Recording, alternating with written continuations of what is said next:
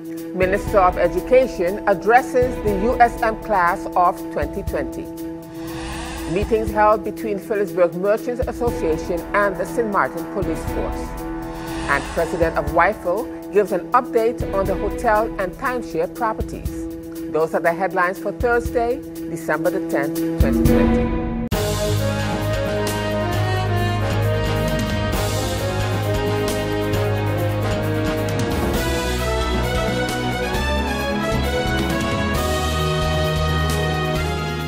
Season's greetings, viewers. This is SXM Daily News, and I'm Valerie Van Putten. Thank you so much for tuning in this evening.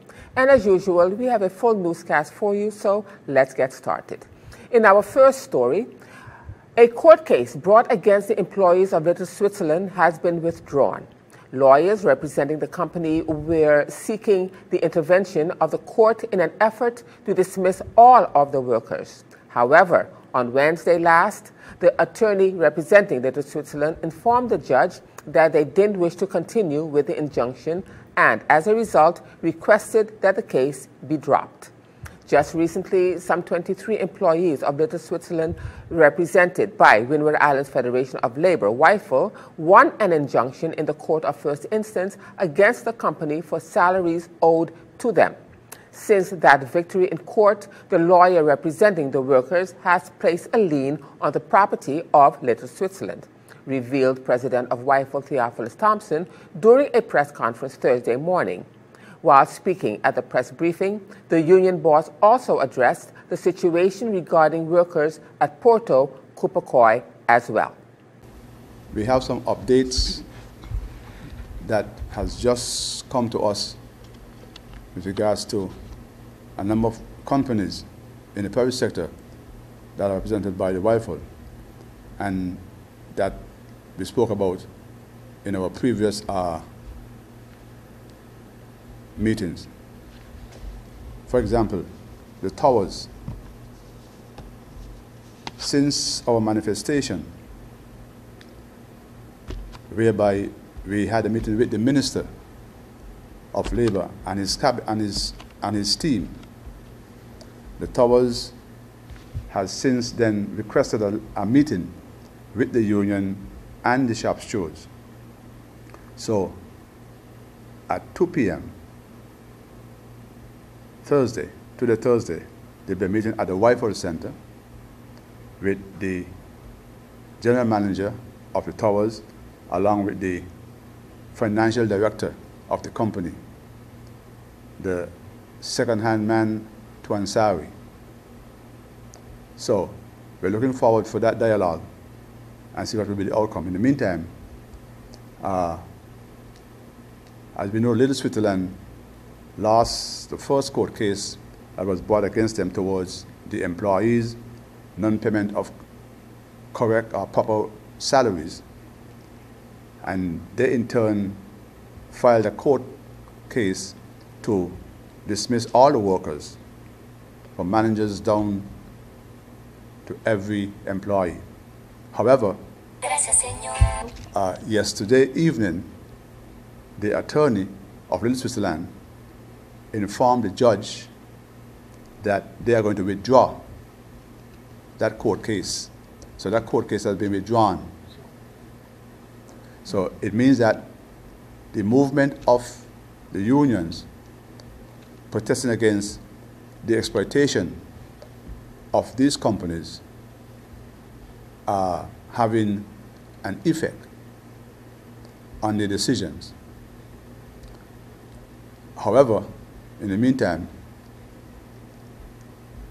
the attorney representing the workers have moved a step forward to put a lien on properties of Little Switzerland on the island, which was not known publicly.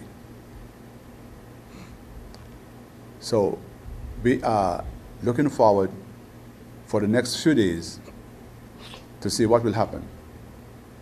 In the meantime, as we said, uh, Porto Cupecoy, the Minister of Labor, have instructed the Office of the Mediator to be more active in dealing with that group that group of managers who are managing the Port of, Port of and whereby the homeowners are not in agreement with how they are managing the operation. Dismissing workers without any reason or without the following, following the correct legal procedures. It is important to note that we will not compromise any worker's right, whether towards job security, towards their income, or any rights that is belonging to them. Another thing we like to bring to the attention of the Ministry of Labor, there are many companies on the island who are employed and keeping employ undocumented workers. We have had many complaints recently where workers who have worked for many years, some over 10 years, with those companies, helping them to acquire massive wealth,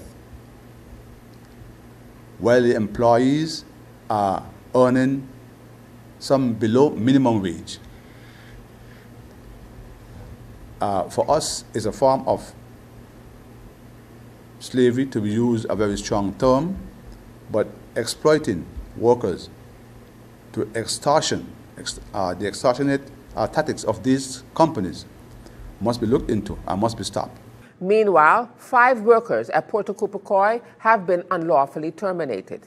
President of the WICLU, Mrs. Claire Elshot, elaborated to our newsroom at their weekly press briefing about the layoffs at Port Cooper and the latest update with regards to the workers at the Great Bay Beach Hotel. According to the WICLU president, the negotiations still have not been concluded, and she expounded further.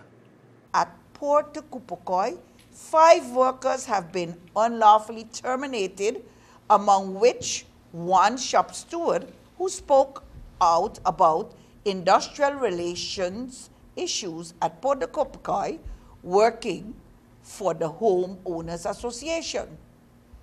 The minister was updated about this situation. The minister was requested to look into the working of the Department of Labor.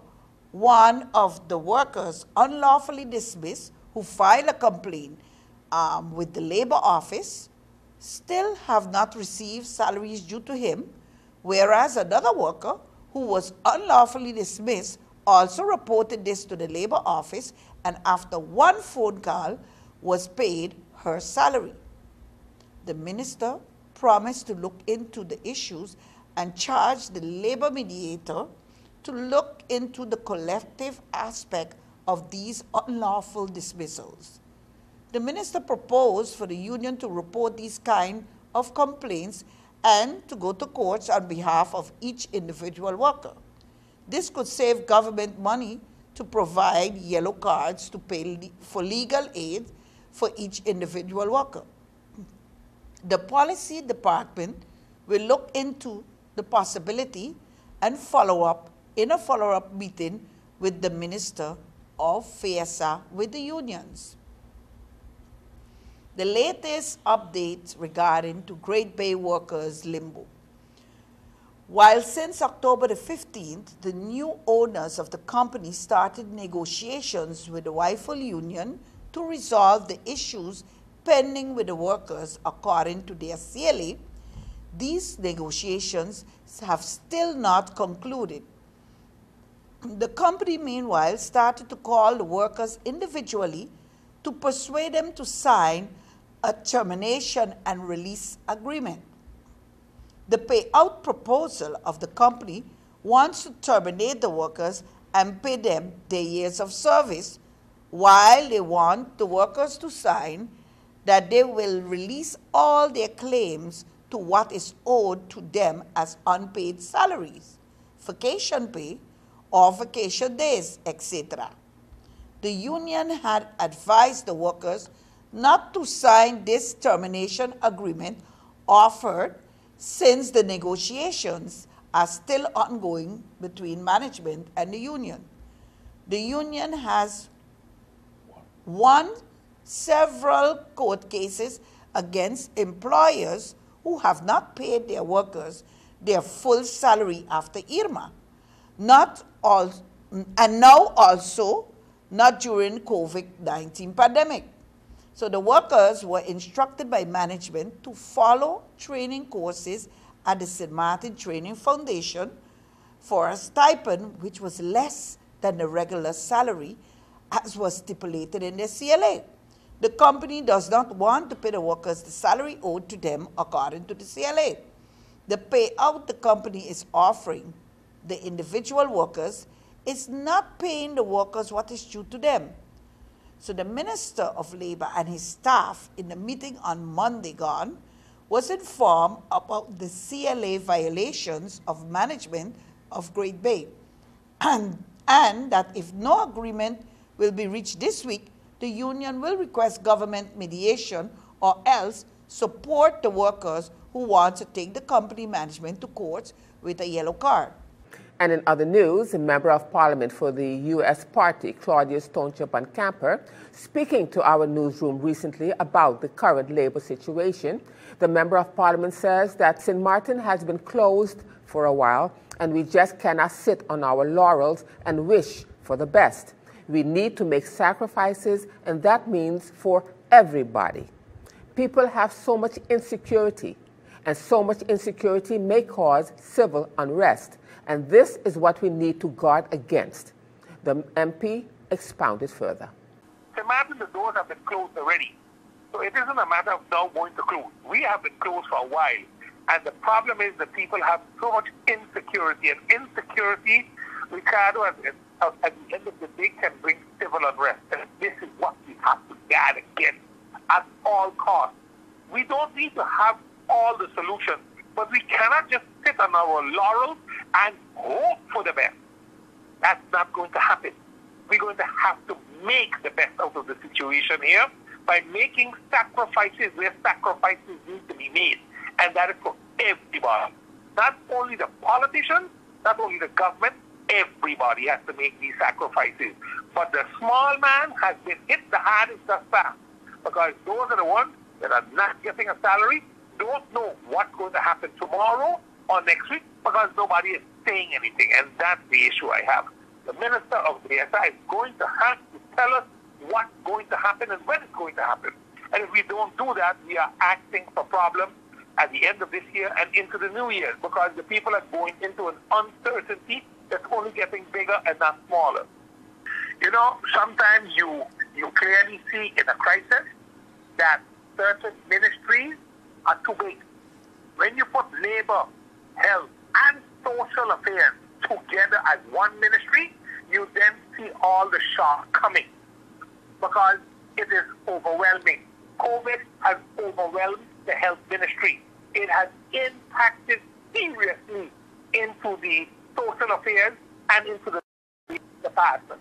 So that is the ministry that has, in my opinion, been overwhelmed the most. And I don't want to go and blame, play the blame game because it's not going to create a solution. The solution is we got to put heads together. If we need legislation, then let's create legislation.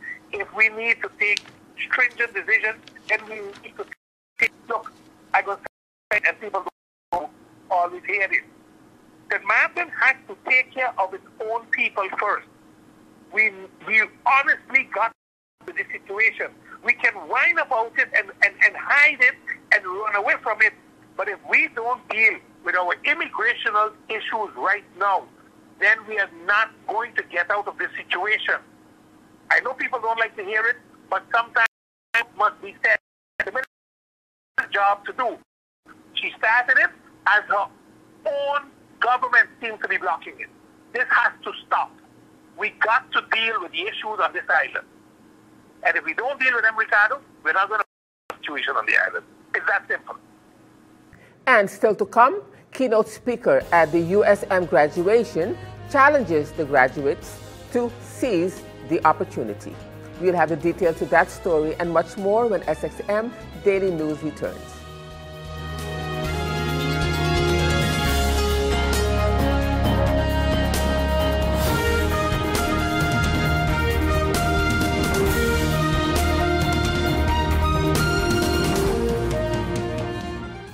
GEBE has been faithfully serving the communities of St. Martin, powering your home and our economy. Come rain or shine, our qualified team of professionals are working hard 24 hours a day to provide you and your family with safe, reliable electricity and water. We use the latest technologies and test our products daily to maintain the highest international standards.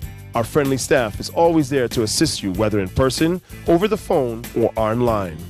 We are committed to constantly improving our products and services, making them more efficient, effective, and environmentally friendly to serve you better today and our next generation of clients tomorrow.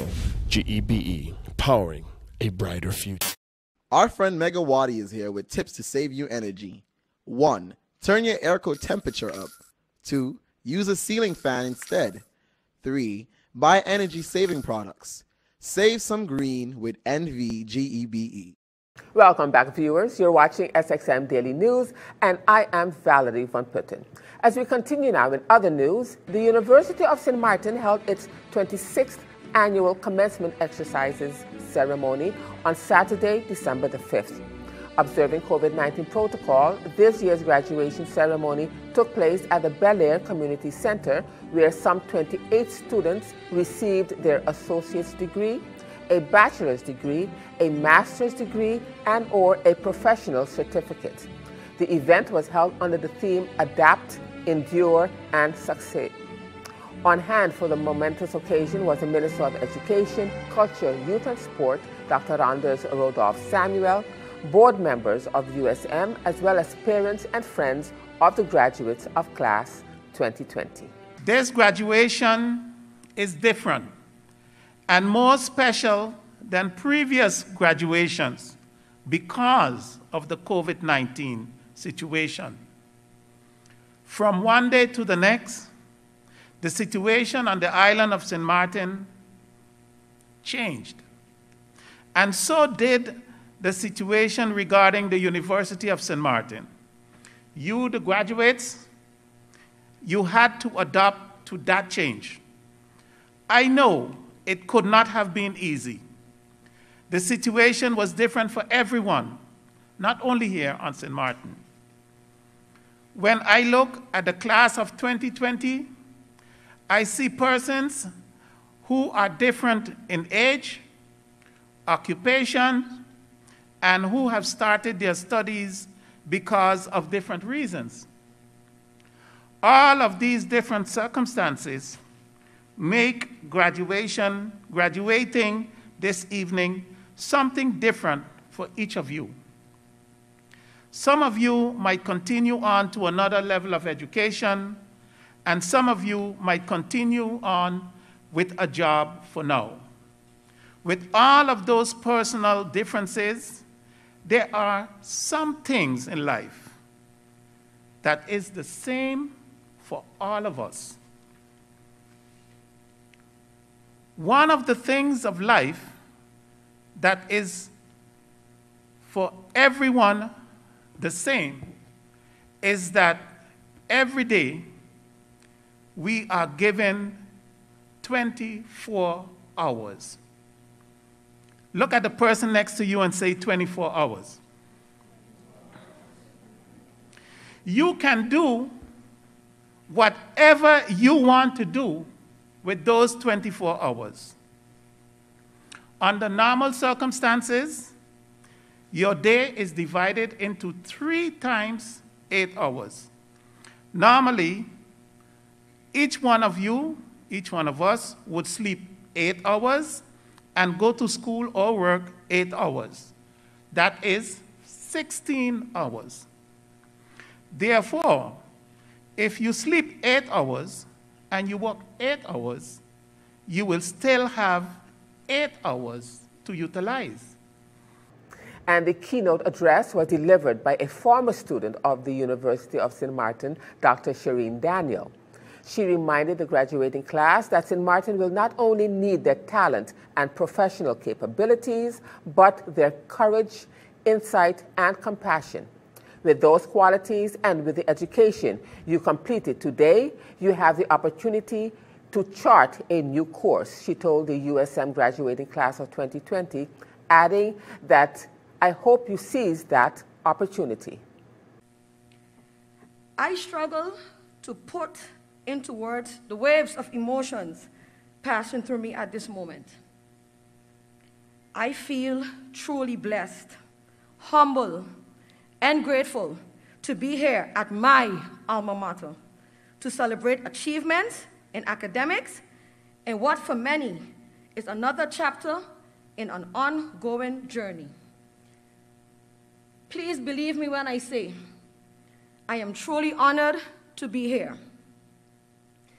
To you, the USM class of 2020 graduates, thank you for letting me share this amazing day with you. It is, of course, you, our graduates, who bring us all here together. We recognize your hard work, your commitment, your achievements. You deserve to enjoy the moment, to savor it, and to remember it always. And though we would like to take credit for all your impressive qualities and accomplishments, we readily admit today that the people who had the most to do with you getting to this point in life are your parents and families. They supported you, they believed in you, and they dreamed of this day for you long before you dreamed of it for yourself. So, before we go any further, let's hear it for the people who truly made this day possible your family.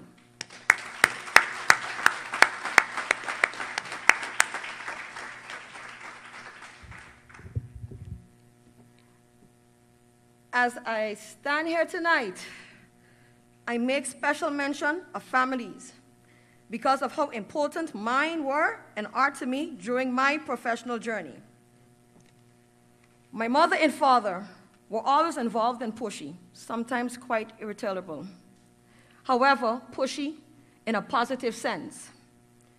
They pushed me to always strive to be more of myself, to strive to achieve the highest academic achievements, to not give up because I was a woman seeking to excel in male dominant spheres, but rather to excel and conquer because I am a woman. You know, my dad used to say to me, can't can never be found in a dictionary. That word is nowhere in the dictionary.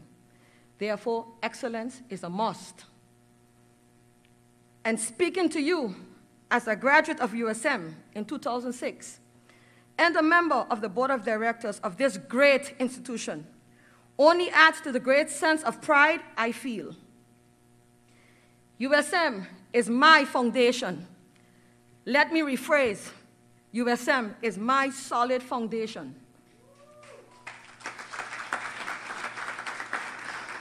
And SXM Daily News will bring you more of Dr. Shireen Daniels' address in tomorrow's broadcast. And in other news, the Central Dispatch received several calls about a man being injured after a fight early Wednesday morning, December the 9th, around 7 a.m. on the Marigot Hill Road. At the Marigot Hill Road location, the officers encountered a man with the initials G.O. sitting on the ground, suffering from severe lacerations to his head.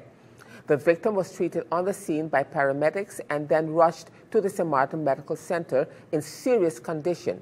While the victim was being treated at the location on Marigot Hill Road, the man with the initials ADB appeared on the scene and informed the officers that he had fought with the victim and had ill treated him with a stone. He was immediately arrested without incident and brought to the police station in Philipsburg, where he is being held for questioning.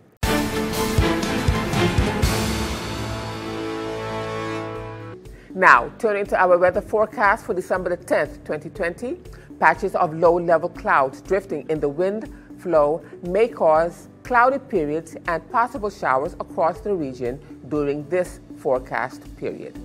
The high surf advisory for St. Martin has been canceled as long period swells are gradually subsiding. Small craft operators and sea bathers are advised to continue exercising caution. So the outlook through Saturday midday, fair to partly cloudy with a few brief local showers possible. Now let's turn to your three-day forecast.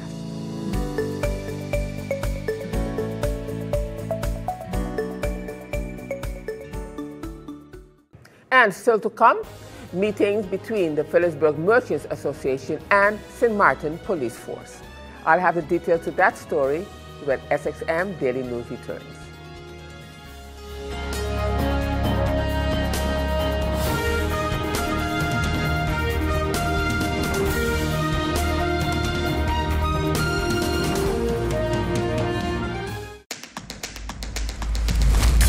Innovative Banco Matico contactless smart card.